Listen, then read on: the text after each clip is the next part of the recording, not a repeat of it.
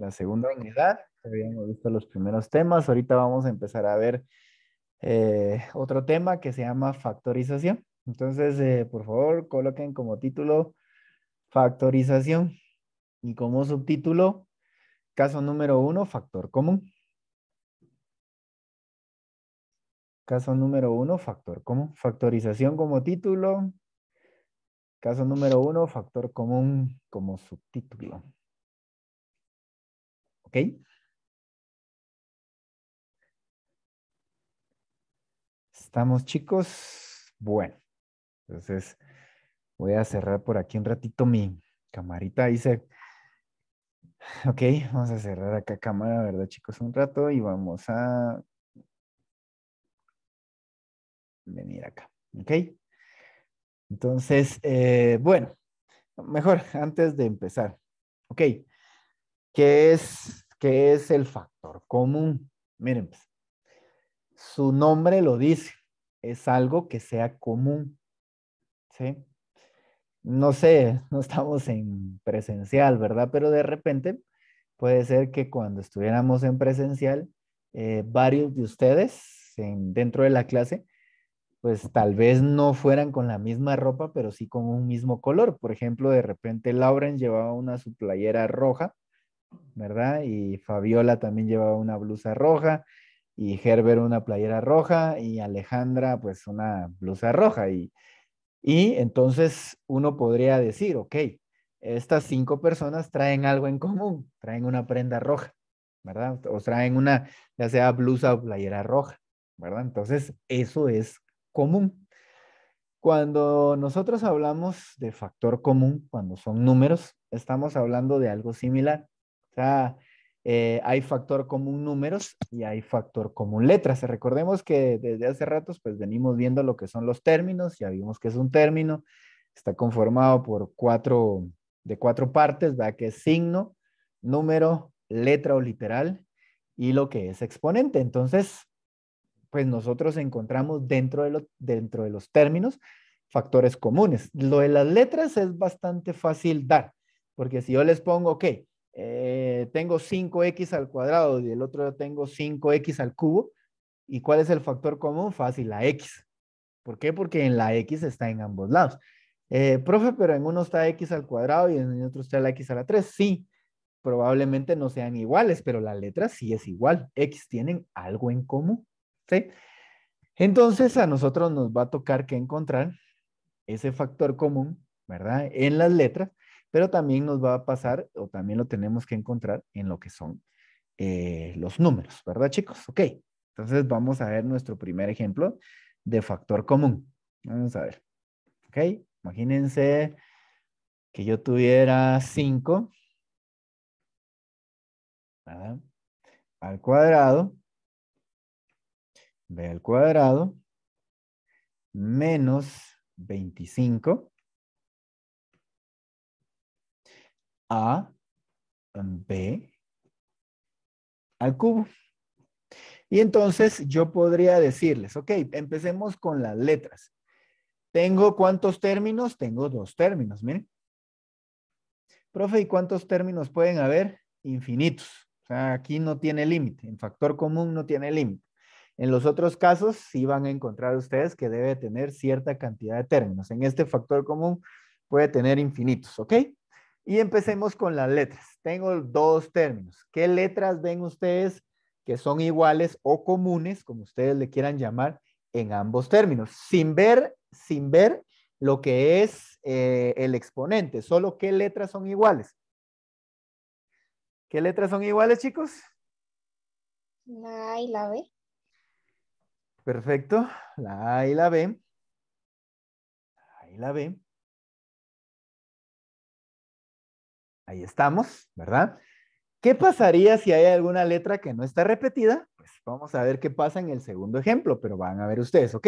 Ahorita identificamos que la A y la B son letras que están en ambos términos. Ahora, ¿qué hacemos con los exponentes? Muy sencilla elegimos los exponentes más pequeños. Miren, por ejemplo, tengo al cuadrado y tengo a a la 1. ¿Cuál voy a elegir? A la 1. ¿Sí?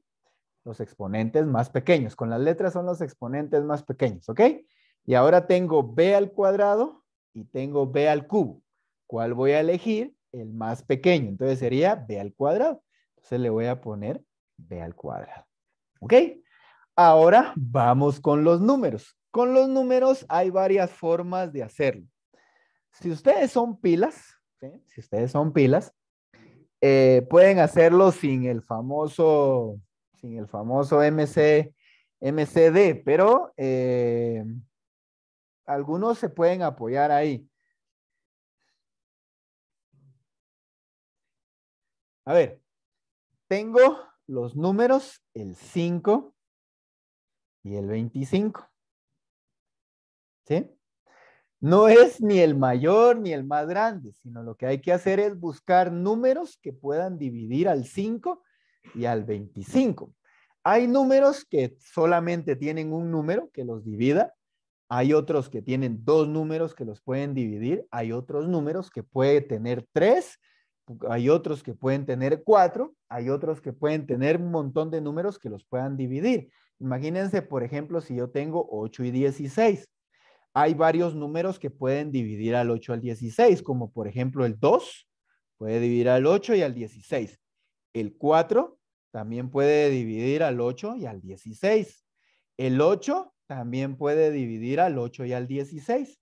Entonces, de todos los números que los puedan dividir, yo tengo que elegir el más grande. Conste, es coincidencia que sea este. No siempre va a pasar eso. Por eso, ojo ahí, no es este.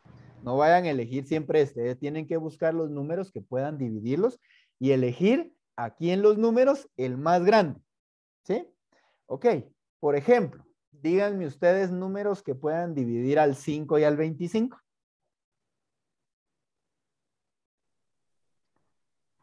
El 5. ¿Sí? ¿Algún otro?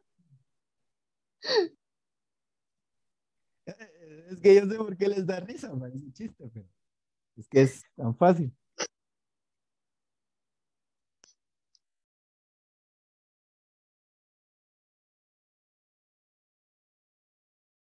¿Qué otro número los puede dividir, chicos? El 1. El 1 y el 5. ¿Cuál elijo? El más grande. Y sería 5. ¿Ok? Abro paréntesis y completo mi expresión. Aquí digamos que yo ya terminé, pero todavía me falta un poquito, pero este sería mi factor común. Mi factor común sería este de acá. Sería el 5a b al cuadrado, pero todavía no termino. Ok, yo puedo completar, completar el problema, ya sea por división o ya sea por multiplicación. ¿Cómo se les hace más fácil a ustedes? No sé. Si quieren, lo hago de las dos formas para que ustedes vean qué se les hace más fácil, si por multiplicación o por división. A mí, en lo personal, se me hace más fácil por multiplicación, no por división, pero da exactamente lo mismo. Eh, a ver, por multiplicación. Recordemos cuáles son las leyes para multiplicar, que si yo multiplico letras que son iguales, ¿qué pasa con sus exponentes? Se suman, ¿verdad? Si yo multiplico a la 1 por a la 3, me daría a la 4. ¿Por qué? Porque se están sumando sus exponentes, ¿ok? Y entonces debo de completar los datos de acá. Miren, vamos, lo voy a poner solo para que vean ustedes, pero después lo voy a borrar porque está incorrecto, ¿ok? Miren, pues 5 Vamos a empezar con los números. 5 para que me dé 5 sería por 1. 5 por 1 me da 5. A para que me dé al cuadrado sería A. ¿Por qué? 1 más 1 me daría 2. Y B al cuadrado para que me dé B al cuadrado ya no se coloca nada porque ya es B al cuadrado. Entonces me quedaría 1A menos, y ahora encuentro los números que multiplicados por este me van a dar este de aquí arriba. Por ejemplo, 5 para que me dé 25 sería 5. 5 por 5 me da 25. A para que me dé A, como ya es A, no se coloca nada. Y B al cuadrado para que me dé B al cubo sería B.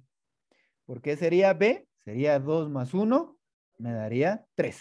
Y ahí estaría completado mi resultado. Siendo mi factor común 5ab al cuadrado. Y ahí está completado por medio de multiplicación. Solo algo muy importante, chicos. El número 1 no se coloca, solo se coloca cuando está solo. ¿Sí? Solo cuando está el número 1 solo. Eh, ¿Por qué? La vez pasada creo que lo dije, es como que cometer una falta de ortografía.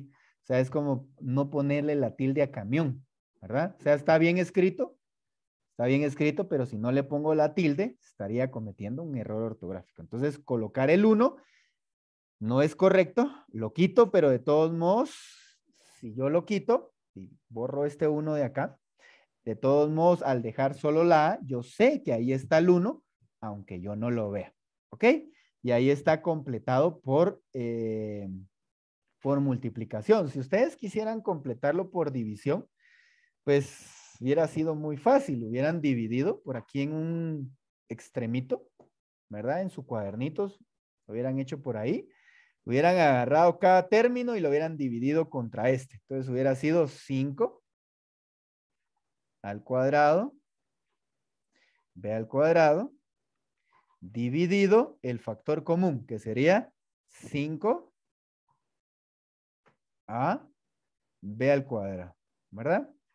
B al cuadrado se va con b al cuadrado, 5 dividido 5 me da 1 y al cuadrado dividido a me da a. ¿Sí? ¿Por qué? Porque al dividirse los exponentes se restan. Entonces 2 menos 1 sería 1 y me quedaría 1a, sabiendo de que el 1 se elimina no es que se elimine, sino que no se coloca y solo me quedaría A. Y ahora agarro 25, 25, A, B al cubo, dividido el factor común que sería 5 A, B al cuadrado. ¿Ok? La A se va con la A 25 dividido 5 me da 5.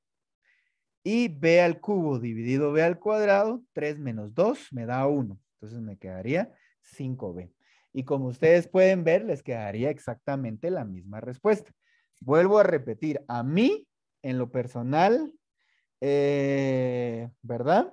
A mí en lo personal, me gusta más completarlo por multiplicación que completarlo por división. En primer lugar, lo siento más rápido y se me hace más fácil, pero igual, ustedes deciden si lo hacen por multiplicación o lo hacen por división. ¿Ok? Aquí estaría el primer ejemplo. Vamos a hacer unos dos o tres más. Eh, y ya después hacen tal vez uno ustedes. Y les quedaría tarea. ¿Ok? ¿Alguien tiene alguna duda con este primer ejemplo?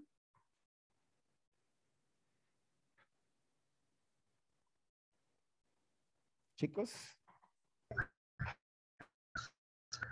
Profe. Dígame. Profe. Dígame. Podría volver a dar otro ejemplo. Es que el internet se va y viene en unas cosas muy lentas. ¿Cómo? Yo no, les, yo no le escucho a usted. O sea, se le oye muy mal.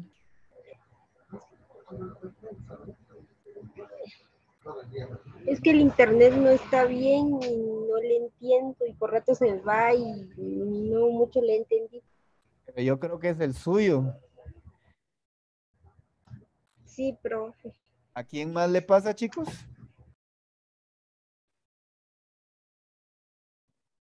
Jóvenes, ¿a alguien más se le está trabando mucho el internet? Creo que solo a usted, André. Sí, hombre, ahí no, no, no se puede hacer nada, la verdad. O sea, yo no podría hacer nada por, porque su internet mejore, más que usted aumentara la velocidad o, o no sé. Lo que sí puede hacer es que la, como la clase queda grabada, eso sí, o sea, al quedar grabada la clase, usted puede volver a ver en cualquier momento la clase ya grabada, no, no se le va a trabar absolutamente nada, eso sí.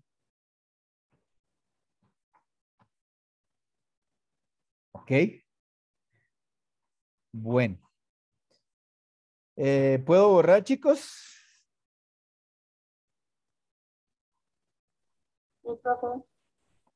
Sí. ¿Puedo borrar?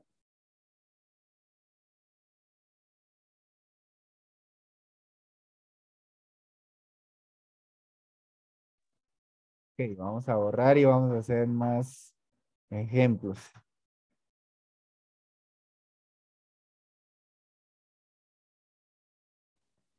Vamos a borrar acá y vamos a poner otro. Por ejemplo, ¿qué pasaría si tengo 16 x al cuadrado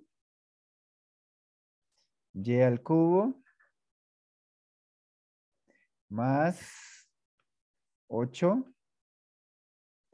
x cubo x cubo y quinta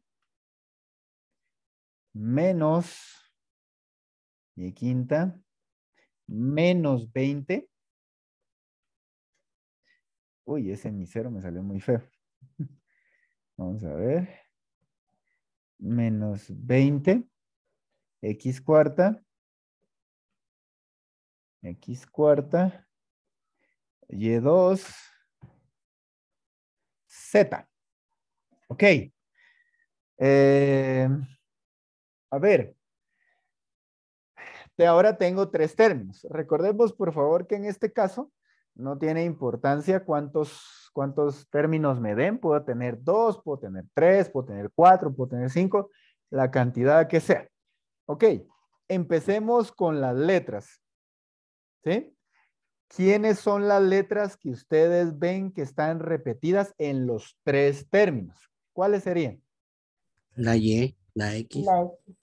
La X y la Y. La Z no, ¿verdad? ¿Por qué? No. La Z solo está en este tercer término. De hecho, yo pude haberle pu- puesto por molestar la Z acá y de todos modos la Z no hubiera estado repetida. ¿Por qué? Porque la condición es que estén repetidas en todos los términos. Si me dan cuatro términos, tiene que estar repetida en los cuatro términos. Si me dan dos términos, tiene que estar en los dos. Si me dan cinco, tiene que estar en los cinco. Pero como ustedes pueden ver, la Z no está en los tres términos, ¿sí? Entonces, eh, ¿cómo se llama esto? Pero, ¿qué se hace? Simple y sencillamente no se pone dentro del factor común, o sea, dentro, de, dentro del factor común. Dentro de lo que queda dentro del paréntesis, ahí sí lo voy a colocar, pero dentro del factor común no lo voy a colocar. Eh, profe, Dígame. este, una pregunta. Entonces, si la Z no está repetida entre los Entre los demás, términos que me no den. se usa. No, no se usa. En, en el factor común, o sea, en lo que queda afuera. Dentro del paréntesis sí va a quedar por, por complementarlo, pero digamos que en el factor común no. Gracias. Ok.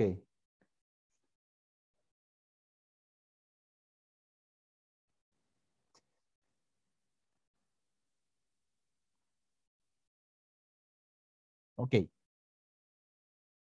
Vamos a ver. Y entonces, ahora ya sabemos que elegimos la de que tenga el menor exponente. Tengo x al cuadrado, tengo x al cubo y tengo x a la cuarta. ¿Cuál es la más pequeña? x al cuadrado. Entonces le pongo cuadrado a esta. Ahora vamos con la y. La y sería y3, y5 y y cuadrada. ¿Cuál es la más pequeña? Y cuadrada. Entonces le pongo también y cuadrada, ¿verdad?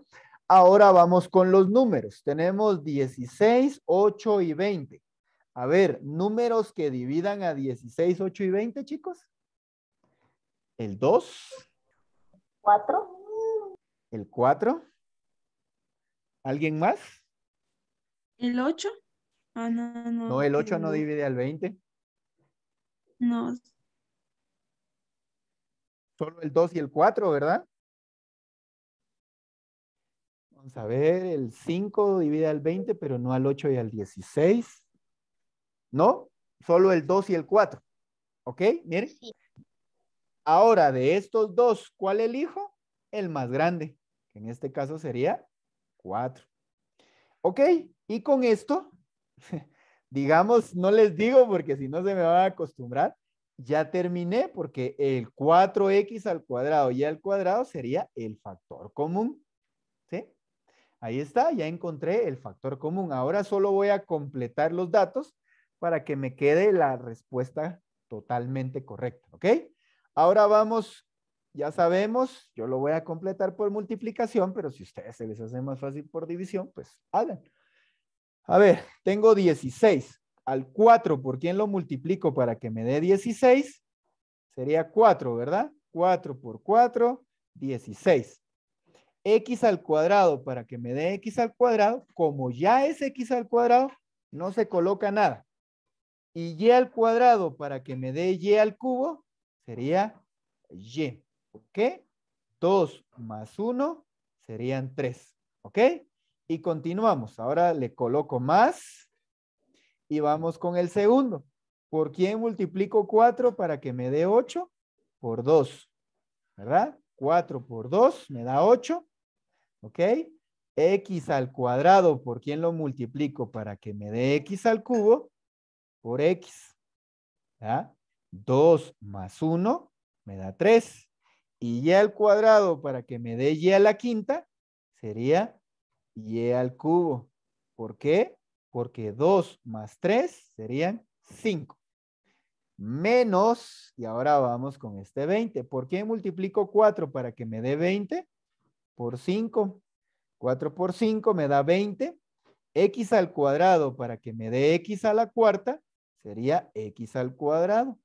¿Por qué? Porque 2 más 2 me daría 4. ¿Ok? Y Y al cuadrado para que me dé Y al cuadrado como ya es y al cuadrado, no se coloca nada.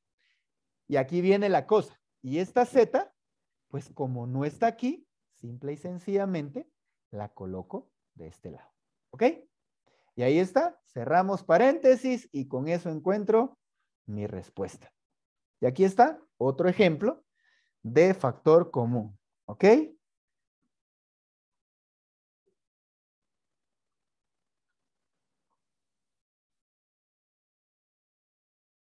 ¿Alguna duda, chicos?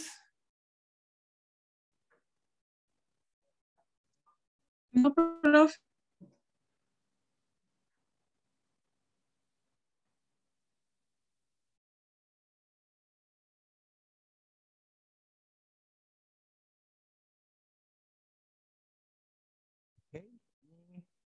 Dígame, Herbert.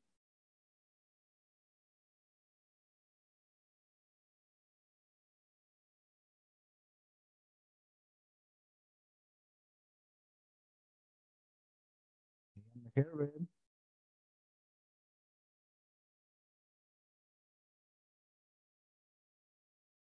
A ver, ¿qué dice Herbert? Dice... Sí, voy a hacer otro Herbert. Pero, ¿qué parte es la que usted no entiende?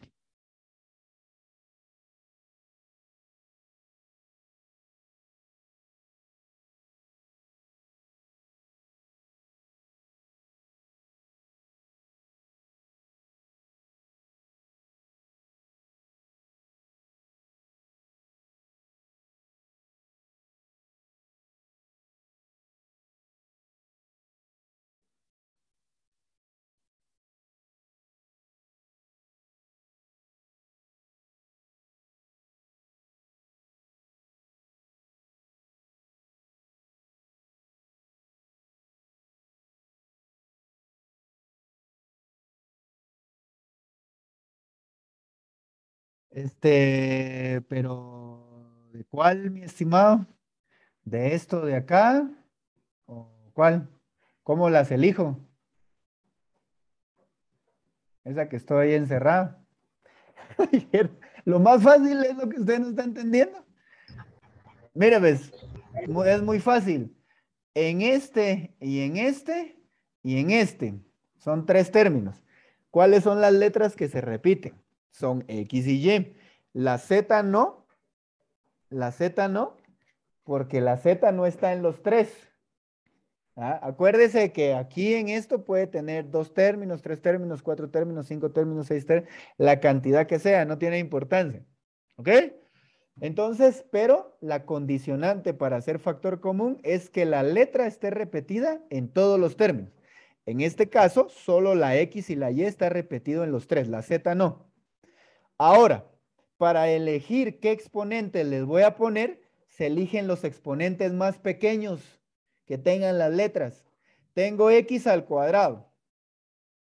Tengo X al cubo y tengo X a la cuarta. ¿Cuál es el más pequeño, Herbert?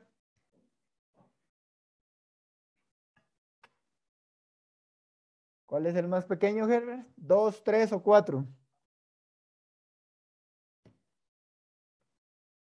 Vaya, entonces por eso le pone el 2, fácil, x al cuadrado.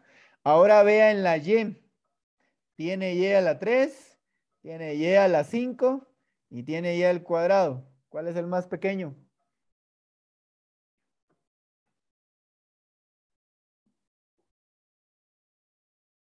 Bye. Entonces, por eso le pone el cuadrado a la y. Imagínense que no hubiera sido, si no hubiera sido cuadrado, si no hubiera sido, por ejemplo, 8. O sea, aquí en vez de 2 hubiera sido 8. ¿Cuál hubiera sido el más pequeño? ¿3, 5 u 8?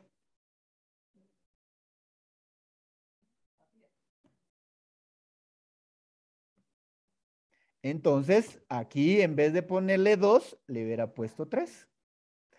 ¿Aclarada su duda, mi estimado Herbert?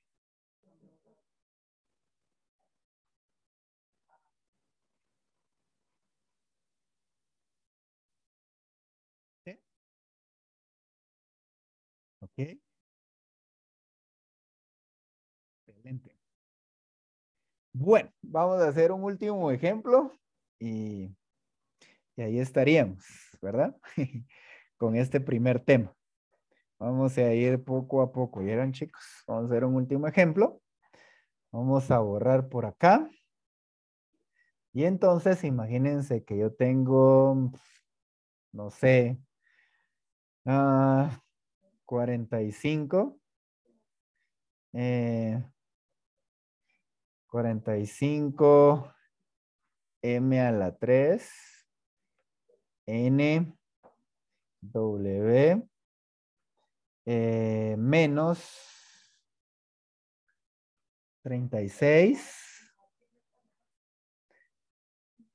m a la cuarta w a la 6 Em, más 18. Vamos a ver. M a la 5. ¿Sí? Hasta W, pongámosle W a la 7. M, N a la 2. Y W a la 3. ¿Ok? Pregunto, chicos, en estos tres, díganme ustedes, empecemos con las letras. ¿Cuáles son las letras que se repiten? La M y la W. La M, la M y la W. ¿Ok?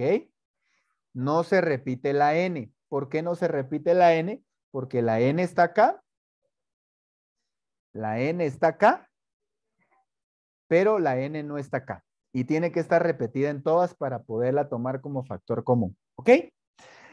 Eh, ahora que ya tenemos las letras, vamos con los exponentes. Vamos con la M. Aquí es al cubo, aquí es a la cuarta y aquí es a la quinta. ¿Cuál es la más pequeña? Al cubo. Acordémonos que puede estar en cualquiera. La cosa está que agarremos la más pequeña, ¿ok? Y ahora vamos con W. Aquí está W7, W6 y W3. ¿Cuál es la más pequeña? W3. Eh, la voy a cambiar solo para que, ¿cómo se llama esto? Solo para que vean que no siempre quedan iguales, porque el ejemplo anterior, eh, pongámosle W4. De todos modos, entre 7, 6 y 4, ¿cuál sería la más pequeña? 4, ¿verdad? 4.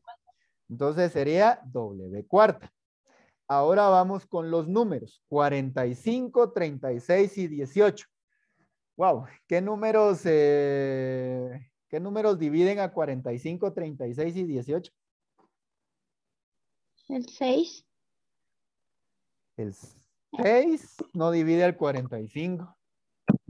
Ah, El 3. ¿El 3? El 3 sí. 3 divide a 45, a 36 y a 18. ¿Hay algún otro?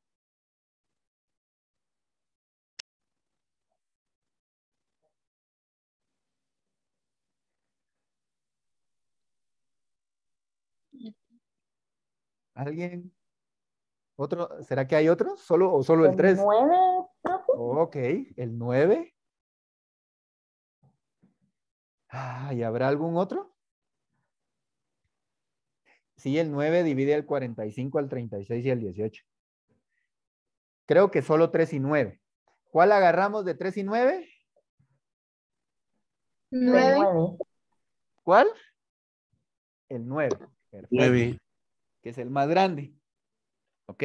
Permítanme, solo voy a conectar mi, mi compu porque ya me estoy quedando sin carga. ok, ahí estamos. Y entonces elijo el 9. Y ahí está. Así de fácil encuentro mi factor común. Por supuesto, yo ya sé que debo de completarlo, ¿verdad? Pero ya encontré mi factor común, que es 9m al cubo w cuarta. Abro paréntesis y completo por multiplicación. 9, ¿por quién lo multiplico para que me dé 45? Sería por 5, 9 por 5, 45. Sería m al cubo para que me dé al cubo. Sería m, ¿verdad? Eh, permítanme, chicos.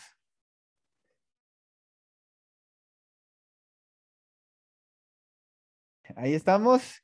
Y eh, n, que no se colocó. Disculpe, una pregunta. Para que dé m al cubo ya no tendría que poner. Ya no tendría que poner nada, es cierto. Ahí me, me distraje un ratito. Ya no se tiene que poner nada. M al cubo para que me dé M al cubo, ya no se coloca nada.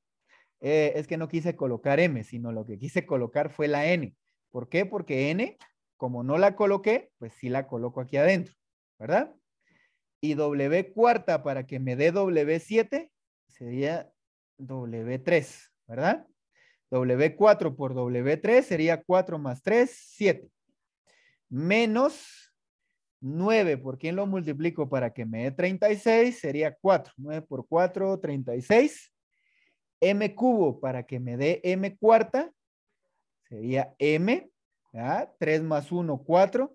Y W cuarta para que me dé W sexta sería W al cuadrado, ¿verdad? Más 9, ¿por quién lo multiplico para que me dé 18? Sería 2. M al cubo para que me dé M quinta. Sería M al cuadrado. ¿verdad? 3 más 2 me da 5. N al cuadrado que no se colocó. Dejo N al cuadrado. Y W cuarta para que me dé W cuarta. Como ya es W cuarta, no se coloca nada. Y ahí está. Cierro paréntesis y ya tengo otra respuesta. Y ahí estaríamos, chicos.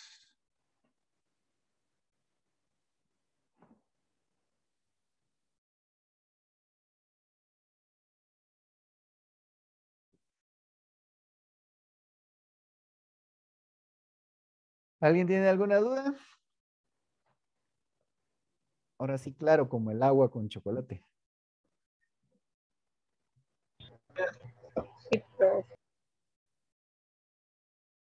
Ok.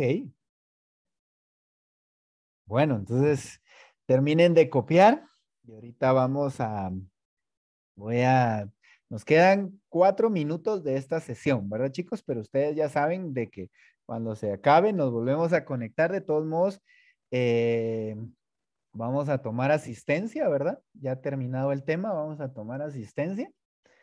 Eh, tienen tarea ahí, ya saben que la pueden descargar y la pueden hacer cualquier día de esta semana, mandarlo y tienen hasta el sábado a las 9 de la mañana para mandarlo, ¿ok? Eh, chicos, ¿puedo cerrar esta sesión y nos conectamos a la otra? Por favor, nadie se vaya a desconectar, vuélvanse a conectar porque voy a pasar asistencia. ¿Ok? ¿Estamos? Está bien, profe. Sí. Los miro ahorita, pues. Vamos a cerrar acá.